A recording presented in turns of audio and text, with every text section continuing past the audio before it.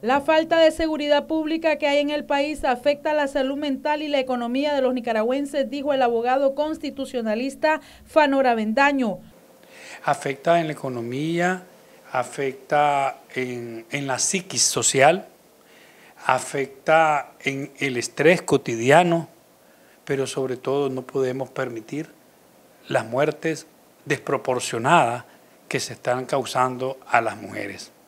Eso debe ser un punto de agenda prioritario en todos los sectores del país, económicos, sociales, políticos, institucionales.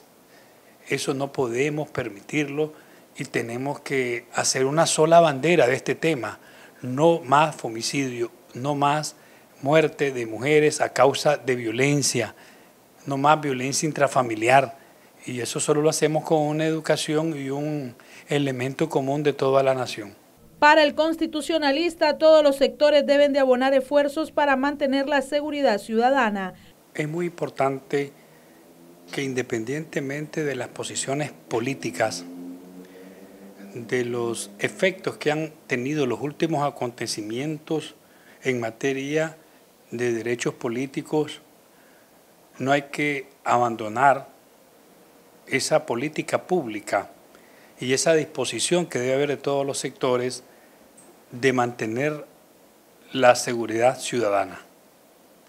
Para nadie es un secreto los confrontamientos, las diferencias que hay entre el trato a lo que es la acción política, a lo que debería de ser indudablemente algo superado, pero hasta hoy no lo tenemos, pero no hay que abandonar aspectos muy importantes como la vida de las mujeres y sobre todo en las comunidades donde no tienen acceso a las redes y a los medios de comunicación ni a las denuncias en las oficinas policiales.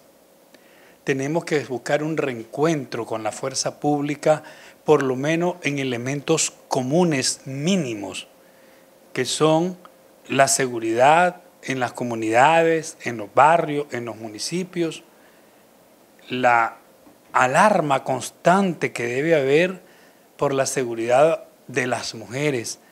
Cada vez más son los índices de las mujeres, femicidios y algunas veces los cubrimos denominándoles homicidios y a veces de manera olímpica hasta suicidios.